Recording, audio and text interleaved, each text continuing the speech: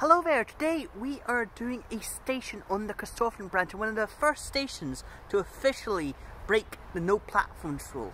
Behind me, or where I'm standing, was the site of Pink Hill Station. Pinkhill Station was opened in 1902 on the Corstorphine branch by the North British Railway.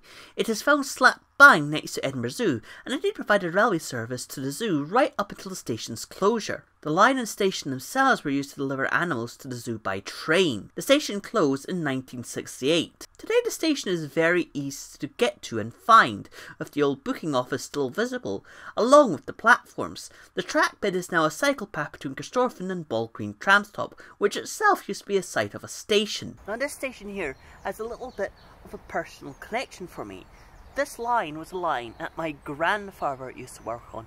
He used to be a clerk just up the line at Corstorphine, and he actually told my mum a little story uh, about when he was working uh, at the station. As I probably told you uh, in the voiceover, this was the station uh, that was used to deliver animals to Edinburgh Zoo. And one day they were minding a collection of uh, birds, I think they were penguins actually, um, down at the uh, parcel office down at the bottom of the line.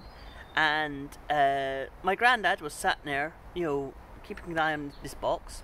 Guy walked in very tired and, you know, wanting to sit down, saw the box, and uh, before my granddad could warn him, sat down the box and got nipped on the bum by some sort of bird.